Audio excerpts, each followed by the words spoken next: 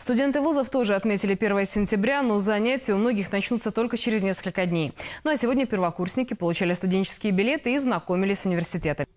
Опорный Алтайский госуниверситет выбирает классический формат занятий. Заочники и вечерники начнут учебный год исключительно в дистанционном формате. Студенты очной формы обучения будут учиться в обычном режиме. Их расписанием предусмотрены как занятия очные в стенах университета, так и на дистанте. Например, преподаватели старше 65 лет будут читать лекции из дома. Такая же ситуация с поточными занятиями. У нас э, по э, всем направлениям образовательных программ, которые у нас есть, сформированы общие дисциплины. И, и эти общие дисциплины выведены в дистант, потому что там действительно формируются в потоке несколько тысяч студентов. Они касаются и юридического, и экономического, и факультета масс... Института массовых коммуникаций.